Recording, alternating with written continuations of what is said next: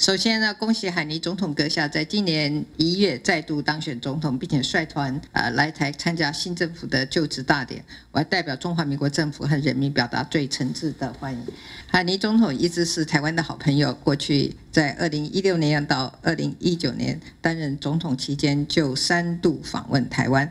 另外呢，在二零一七年和二零一九年，我到呃马绍尔群岛访问的时候，更受到海尼总统热情的款待。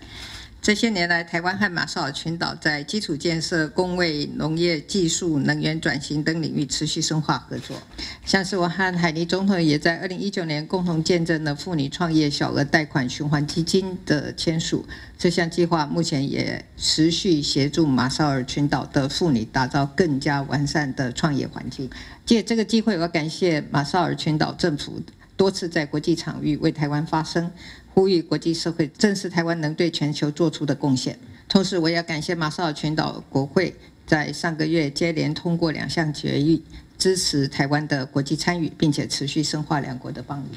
未来，台湾会和马绍尔群岛共同为印太区域的繁荣进步带来更多的贡献。最后，我要再次欢迎海尼总统率团来到台湾，也希望各位贵宾能够借由这次的访问。加深对台湾的认识，未来和我们的新政府携手合作，为两国人民创造更多的福祉。Thank you. Thank you.